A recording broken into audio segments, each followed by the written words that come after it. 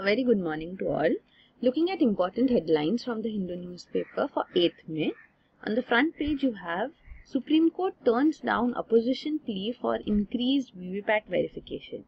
So CJI has declined to review its April 8 order on VVPAT counting per assembly segment. So after the Supreme Court gave its order, opposition still filed a review petition uh, on April 22 you can see. But now Supreme Court on May 7 has refused to review its April 8 verdict in which it had said that five random AVMs, uh, five random EVMs in each assembly segment will be you know, uh, checked. So this is a VVPAT verification we done. Five random EVMs per assembly segment.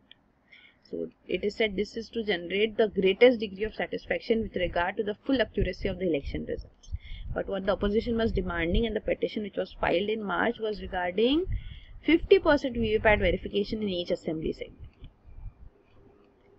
So here you can see a opposition filed review petition seeking at least 33% or 25% VVPAT verification if not 50%. But what Supreme Court restricted it to is 5 random EVM verification. EVM VVPAT verification. Then again with respect to the PM's comments here when he spoke of Rajiv Gandhi, former Prime Minister, he targeted uh, Rahul Gandhi and said that uh, your father may have been declared Mr. Clean by his courtiers, but he died as the Bhrashtachari number one. So Congress has objected to this that you know he's trying to malign and tarnish the image of former Prime Minister who was killed in a terror attack.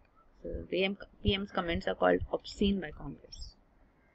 And below you have Odisha Wildlife Sanctuary is ravaged by Fani. So this is severe uh, cyclonic storm Fani which has affected Odisha and it has also affected the Balukhand Wildlife Sanctuary here adjacent to Bay of Bengal which lies between Puri and Konark. So it's now a wasteland with ha hardly any tree left untouched. So this is the condition of the forest here. Balukhand forest, the Balukhand Wildlife Sanctuary in Odisha. Also it talks of how in Bhubaneswar the cyclone has uprooted decades old trees inside Nandan Kanan Zoological Park. So this is Nandan Kanan Zoological Park in Bhubaneswar, Odisha.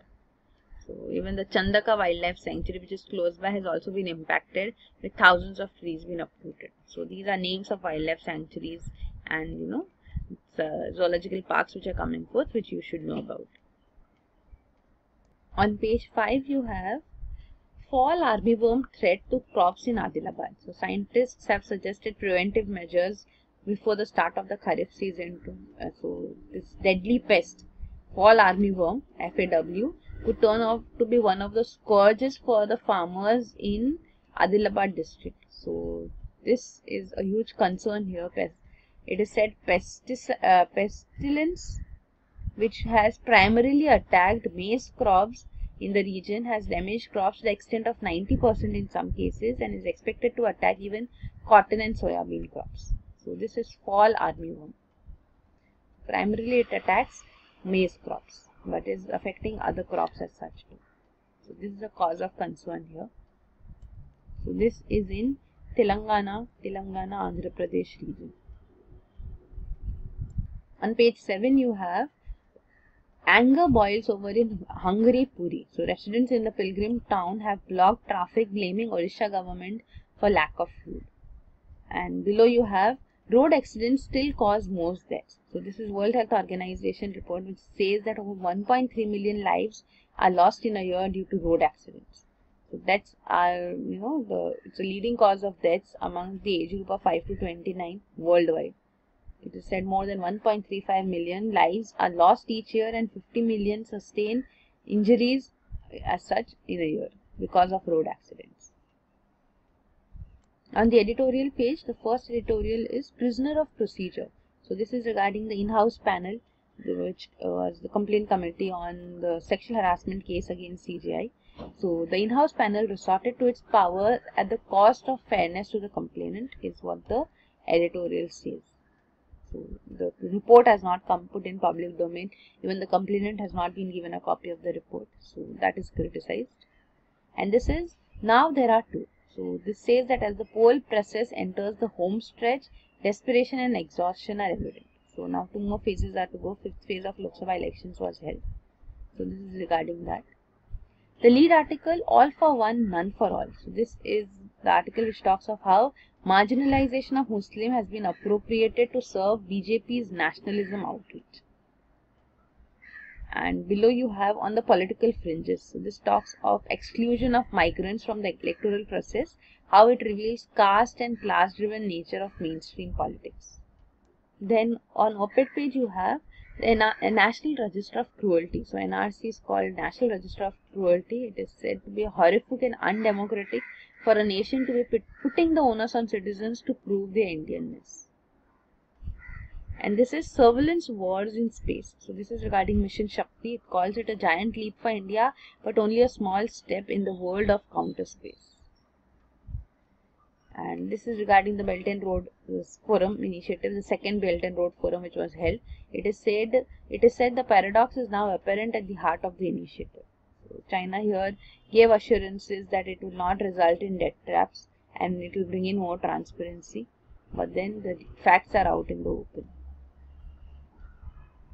On international page you have Reporters freed from Myanmar prison. So these are Pulitzer Prize winning journalists who have now been released under a presidential amnesty as such in Myanmar.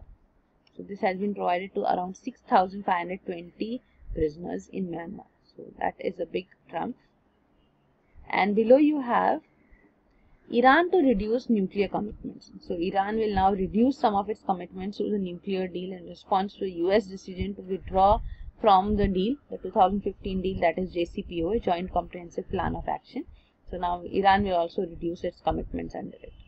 But then there are other parties to the deal too, that is Britain, China, France, Germany and Russia and even the European Union. On business page you have this quote, India has overly restrictive market barriers. So this is Wilbur Ross who is actually the US Commerce Secretary. So he says that while US is India's largest export destination, India is only the 13th largest for USA due to overly restrictive market access barriers. So this is the point tariff and non-tariff barriers and multiple regulations which put foreign firms at a disadvantage in India been highlighted by him. And this is ArcelorMittal hid vital facts to acquire Essar. So this is regarding the Essar steel case. It went up to the NCLAT and now it is seen that uh, it is said Essar promoters say that uh, ArcelorMittal in its bidding process and it has won the bid also to acquire Essar Steel. So the promoters of Essar say that uh, it misled uh, committee of creditors. So this is allegation being made as such that ArcelorMittal hid vital facts. Then here you have B2B tech startups treble in 5 years. So this is a study which says that B2B, that is business to business technology startups, they have more than trebled in the last five years because of need for digital transformation of enterprises, financial institutions, hospitals, government and even small and medium enterprises, etc. Then there is no news coverage on the last page. So these are the important headlines.